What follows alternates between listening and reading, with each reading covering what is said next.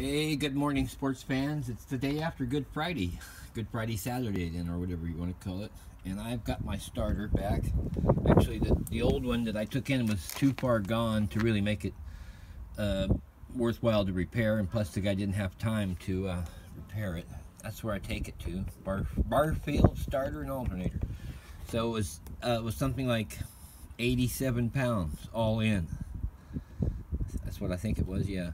And the when I went to Euro Car Parts, they had a couple of them.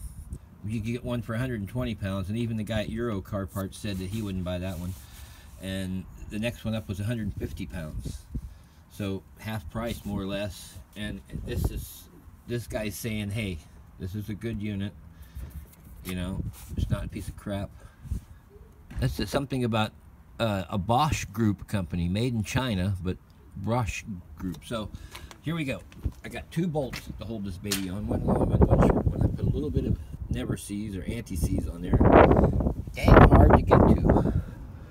One of them is right down in there. That was the one that I really struggled to even find it where it was.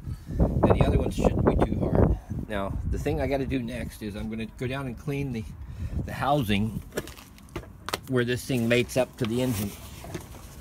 I want to make sure that's that's it's right up right up in there. Oh, light's not hitting it. The light's not good. Right, you can see that you can see it right there. So I'm gonna take something, maybe some mineral spirits on a rag and wipe that all down so it makes a really good connection to the body. and then um, I'm ready to rock and roll. I haven't decided if I'm gonna change this. I, I, I think I'm gonna have to. It's although it's you know it's like wood rot. You know the wood rot looks really bad, but it's actually surface rust or something. But maybe I should just leave it and carry a spare. That's all I want. In a hot summer day and freaking thing breaks. Well, anyway, I'll have to decide later. So that's where we are. We get that that uh, housing cleaned off, and then we'll get this thing in.